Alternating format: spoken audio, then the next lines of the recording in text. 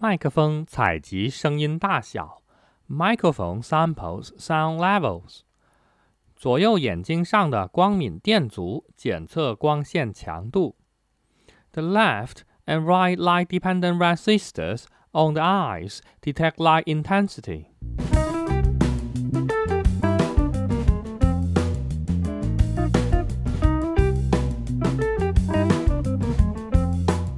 嘴上的发光二极管 和扬声器作为输出设备，输出 Arduino 对声光判断的结果。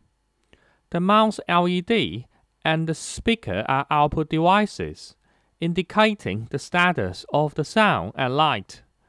clybot C6 身上丰富的输入输出设备可以学习和设计非常多实用的例子。There are plenty of I/O devices on clybot C6. Which can be used to design interesting examples. 本实例模拟的就是楼道声光控路灯。天黑时，如果有声音，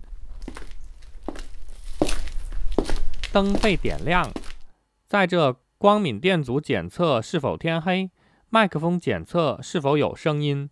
它们作为输入设备。是 Arduino 的眼睛和耳朵。The sound light activated switch can be used in stairway. The sound in the dark triggers the light. The light-dependent sensors detect the light intensity while the microphone detects the sound. They are working as eye and ear respectively for Arduino.